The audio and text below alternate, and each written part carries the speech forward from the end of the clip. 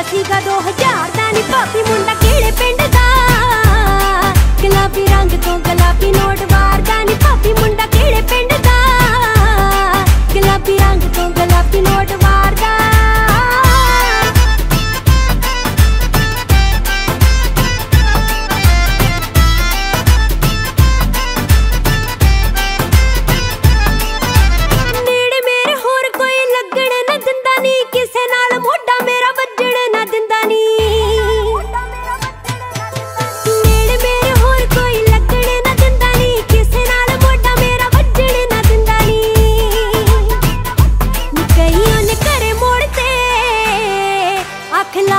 ਲਾਲ ਕਿਹੜਾ ਜਿਆ ਤਾੜਦਾ ਨੀ? ਭਾਬੀ ਮੁੰਡਾ ਕਿਹੜੇ ਪਿੰਡ ਦਾ? ਗੁਲਾਬੀ ਰੰਗ ਤੋਂ ਗੁਲਾਬੀ ਨੋਟ ਵਾਰਦਾ ਨੀ? ਭਾਬੀ ਮੁੰਡਾ ਕਿਹੜੇ ਪਿੰਡ ਦਾ?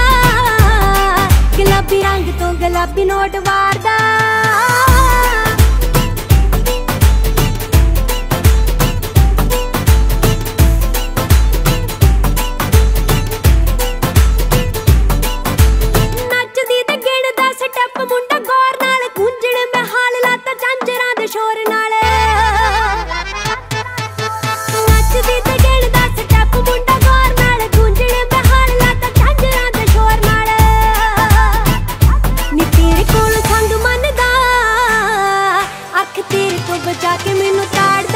ਤਾੜਦਾ ਮੁੰਡਾ ਕਿਹੜੇ ਪਿੰਡ ਦਾ?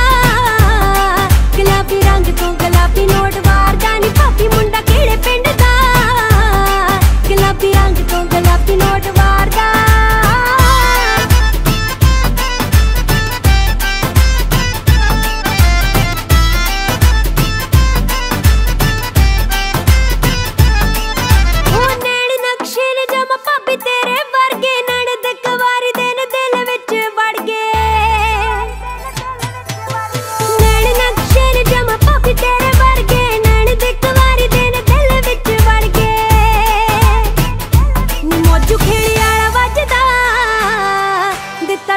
ਮਾਵੀ ਨੂੰ ਗੀਤਕਾਰ ਦਾ ਨੀ। ਭਾਬੀ ਮੁੰਡਾ ਕਿਹੜੇ ਪਿੰਡ ਦਾ?